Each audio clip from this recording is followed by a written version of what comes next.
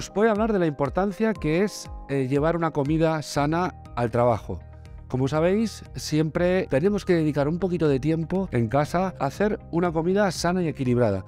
Por ejemplo, aquí tengo un poco de arroz, un poco de fruta y unas esferas que hemos hecho de aceituna. Para nosotros es muy importante siempre el cuidarnos y sobre todo cocinar sano productos de temporada, pensar en nuestra alimentación semanal, siempre basándonos en carbohidratos, por supuesto, por la mañana para darnos energía.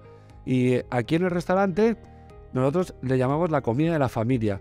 Y hacemos todas las semanas guisos, como puede ser un cocido, como puede ser unas lentejas o como puede ser una pasta. Y siempre eh, hay una persona encargada de hacer ese tipo de comida para 50 personas que somos aquí en el restaurante. Así que os recomiendo que dediquéis un poquito de tiempo a una alimentación sana y lo notaréis muchísimo.